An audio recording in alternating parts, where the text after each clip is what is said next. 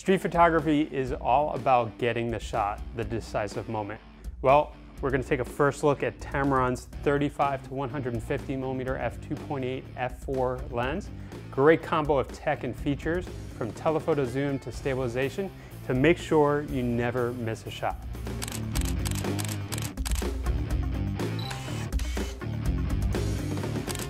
Here it is, the new Tamron 35 to 150 millimeter f2.8 to f4 DI VC OSD lens.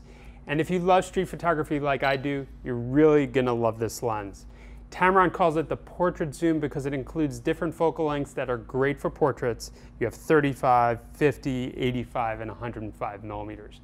Conveniently, the focal length markings are on the barrel of the lens. The lens also has a fast variable maximum aperture of f2.8 to f4. It's like having four different prime lenses in one. I took it out for a spin in Miami and had loads of fun with it. Uh, let me tell you a little bit about this lens. It's made for Canon and Nikon DSLRs and works with both full frame and APS-C cameras. Expect the Nikon version in late May and the Canon in late June. Tamron lent us the Nikon version, and since the lens is designed and optimized for high resolution cameras, I paired it with Nikon's 45 megapixel, the D850. The first thing you notice is how nice the build is and how well it balances with the camera.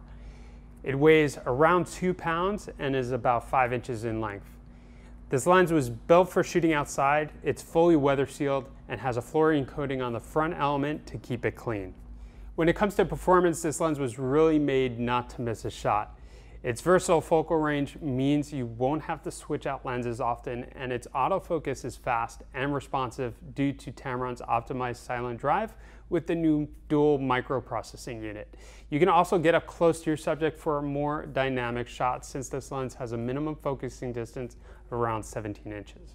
If you're trying to stay mobile and travel light without bringing a tripod, this lens is great for shooting handheld at slower shutter speeds since Tamron's great vibration compensation system gets you up to five stops of stabilization.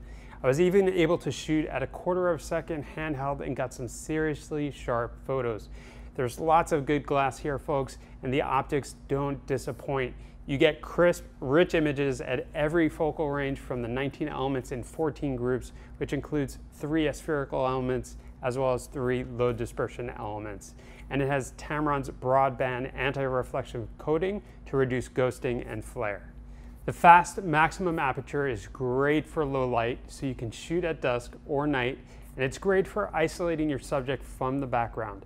It has a variable aperture, but I noticed it stayed pretty fast around f3 throughout the range, and it doesn't close down to f4 until 122 millimeters.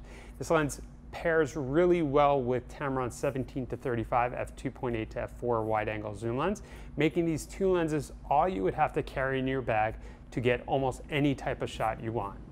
So does this new focal range sound like a good option for you?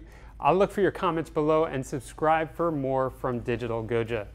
And come visit us at the Digital Goja showroom the next time you're in Miami. Keep on shooting. I'll catch you in the next video.